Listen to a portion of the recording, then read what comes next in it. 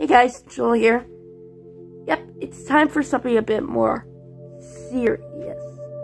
Last time it was sips on relaxing your anxiety. This time it's on healthy habits. I know since the coronavirus is making everyone lose their mind, I thought it would be helpful to, if I teach people some tips on how to be healthy. And as a matter of fact, you can watch my video on anxiety as one way to stay healthy. I'll probably put a link into the description.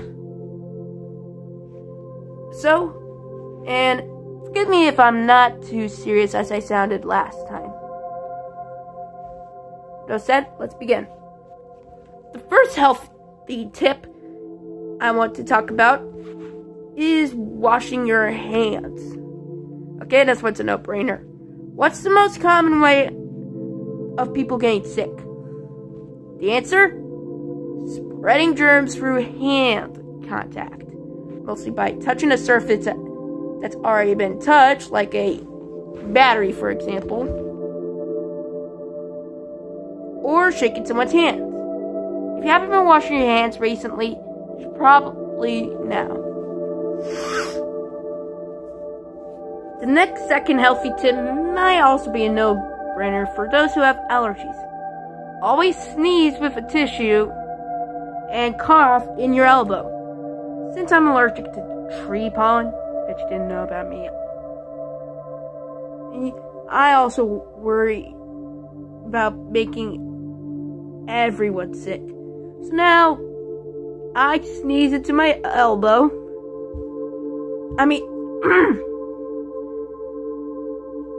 part of my, like, uh, part of my speaking today. So I always now speak and uh, sneeze into my tissue and cough in my elbow. Can't speak today. The third and oh wait, this is not the final one. The third and healthy tip is being hydrated and eating healthy food. Even though I prefer mac and cheese over everything, I will still not argue with my parents if I'm forced to eat healthy food. And we need water to survive. I mean, it's basically a whole part of our human beings. Bet you didn't know that. We're made of hydrogen. Ha Science in there for ya. Ooh yeah. Ooh, ooh, ooh, doo, doo. The fourth and final tip is, drumroll please, exercise. Yep, exercise.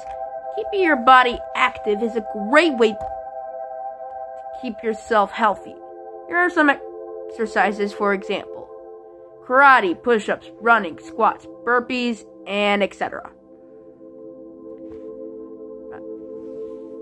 And those are the healthy tips. Now, before we end the video, I just want to say I am sick and tired of the students who